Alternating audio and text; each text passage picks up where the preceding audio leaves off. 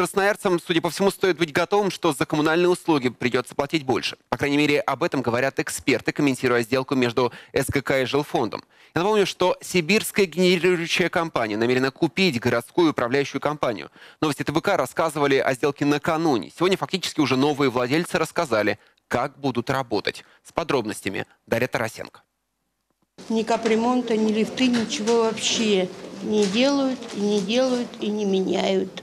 Татьяна Васильевна последних новостей о жилфонде еще не слышала. Говорит, ей по большому счету все равно, кому платить. Главное, чтобы толк был. Пока, сетует пенсионерка управляющей компании, можно поставить только слабую троечку. В самой управляющей с такой оценкой не согласны. Мол, работают как могут. И с новым руководством, надеются сотрудники, тоже сработаются. Да, мы уже со всеми руководствами работали.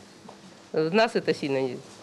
Ну, работаем, работаем, но поменялось, все в жизни бывает. Да, в жизни разное случается. Сначала сибирская генерирующая компания решила жилфонд обанкротить, затем купить. Сегодня генеральный директор СГК Михаил Кузнецов пояснил, юридически сделку еще не совершили, а подписали так называемый протокол о намерениях. На оформление всех бумаг уйдет еще месяца два. Сумму сделки Кузнецов не озвучил, сославшись на коммерческую тайну. Зато рассказал, работников управляющих компаний сокращать не будут, поменяют только директоров и сотрудников финансовых отделов. И ловко закинув камень в огород жилфонда, резюмировал – работать намерены честно.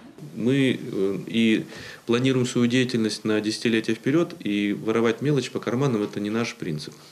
Поэтому единственное, что мы можем твердо обещать, это то, что те деньги, которые будут собраны, будут равномерно распределены между всеми получателями э, между всеми контрагентами Гугжилфонд. А чтобы рассчитаться с контрагентами, то есть с подрядчиками, в СГК намерены активнее работать с должниками. На вопрос о тарифе новые собственники управляющих компаний отвечают уклончиво. Между тем, лидер движения «Народный контроль ЖКХ» Роман Казаков уверен, повышение тарифа на жилищную услугу – лишь дело времени. У меня есть опасения, что новый собственник а, будет настаивать на повышении тарифа на жилищную услугу.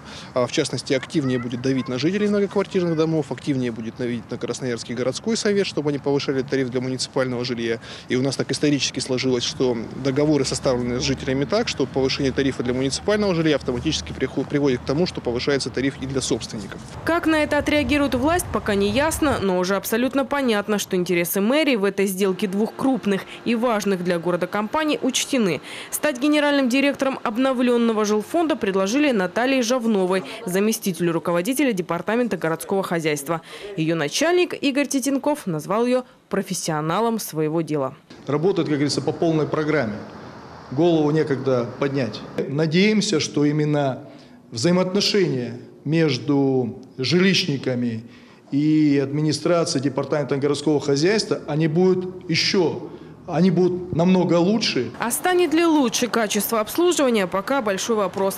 Слова новых владельцев жилфонда для красноярцев ничего не изменится, надежды как-то не вселяют. Дарья Тарасенко, Сергей Березовский. Новости ТВК.